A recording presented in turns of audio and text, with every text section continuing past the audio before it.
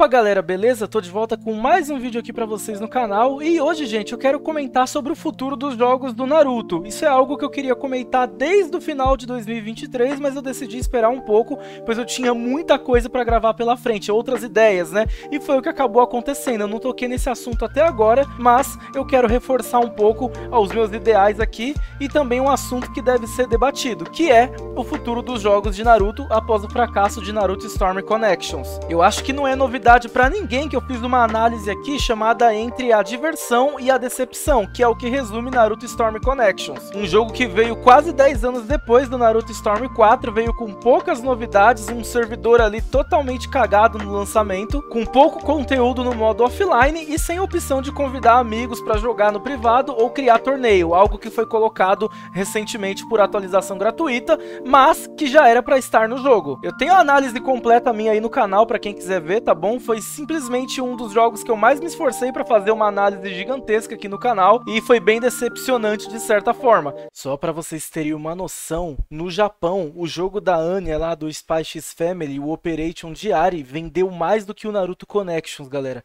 Isso é para vocês terem uma ideia do quanto a franquia Storm tá de mal para pior. Até mesmo se a gente for comparar na Steam, o jogo não chega nem 200 jogadores diários direito. Teve coisas boas, mas foi muito pouco pro que se esperava de um jogo de Naruto Storm depois de alguns anos. O jogo teve também várias polêmicas envolvendo aí o uso de IA na dublagem, né, galera? Então deu o que falar. E assim, galera, no fim do ano passado, um dos produtores da Bandai, o Rotaka Sudo, ele comentou que gostaria de trabalhar num reboot nos jogos de Naruto no futuro, com uma nova engine e um gênero diferente que não seja Battle Arena, igual é os Naruto Storm, sendo talvez até mesmo um RPG, que para mim seria a melhor solução no momento. Chega de Naruto Storm, por favor. E ele chegou a comentar que a Bandai tem vários títulos em andamento né, em desenvolvimento, e que eles têm recebido pedidos dos clientes para melhorar esses títulos. E isso casa perfeitamente com aquela notícia que teve no meio de fevereiro aí de 2024, para quem não tá ligado, que a Bandai comentou que vai focar mais na qualidade de seus jogos, já que supostamente eles teriam cancelado cinco jogos que estavam em produção. E a gente tem vários exemplos também que jogos de anime nos últimos anos lançados pela Bandai,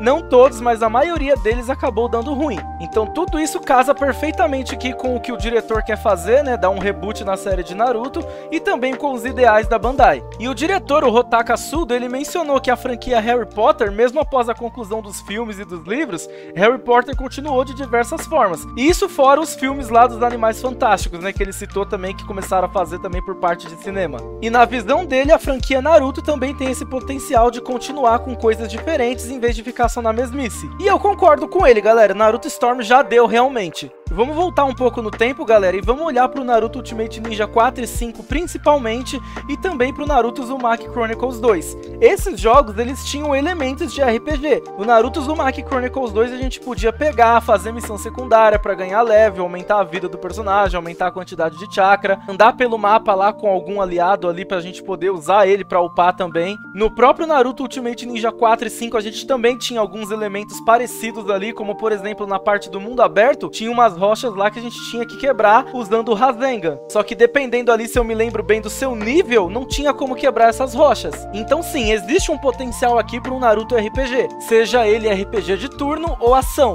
Só que eles têm que sair da zona de conforto e arriscar mais, pois quem não arrisca não petisca. A gente sabe que jogos de anime não tem o mesmo investimento de um jogo AAA da vida. Isso aí é fato, eu acho que é uma coisa que a galera tem que começar a entender. Só que a gente também não pode aceitar qualquer coisa que jogarem na nossa cara. Como já mostrei agora há pouco, jogos que deram fracasso para Bandai nos últimos anos. Então sim, acredito que o RPG é um caminho para os jogos de Naruto atualmente. É só a gente olhar de exemplo o Dragon Ball Kakarot, ele foi um sucesso até, ele não é um jogo ruim. Eu já vi muitos vídeos dele e eu considero ele um jogo bom. Eu mesmo tô para jogar mesmo de fato e fazer uma review aqui para vocês. Claro que teve gente que não gostou desse jogo justamente porque ele era RPG, mas isso não tem nada a ver com a qualidade do jogo em si. Foi algo diferente, foi algo que eles arriscaram fazer e ficou bem bacana. A gente olha também para os jogos de One Piece também, que eles estão sempre fazendo coisas diferentes também. O Odyssey no ano passado, que veio como RPG de turno, é um jogo bem bacaninho. Eu também quero pegar ele para jogar uma hora e quem sabe trazer uma review para vocês também. E a franquia de jogos de Sword Art Online, que desde o início do Gameverse, né, que é uma história própria, um universo próprio que a Bandai criou ali, foram jogos de action RPG, mas com história própria, sempre tentando trazer algumas coisinhas diferentes.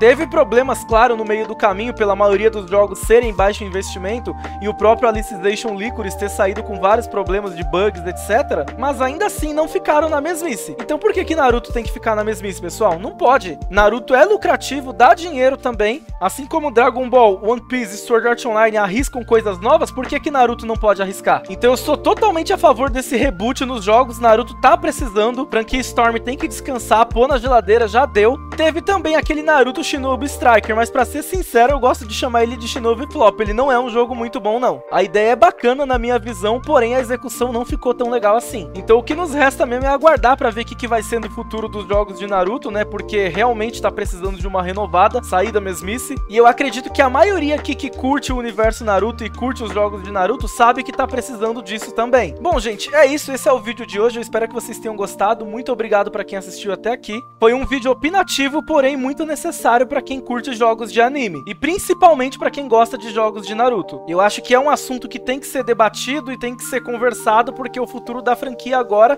tá meio que em aberto, né? E a gente não quer que venha um outro jogo sendo copiar e colou com pouca inovação. Battle Arena, no geral, é um gênero aí que se tornou um câncer nos últimos anos, e eu tô preparando um vídeo pra comentar com vocês sobre tudo isso, tá bom? Então só fiquem no aguardo. Valeu, gente, até a próxima aí, tchau, tchau.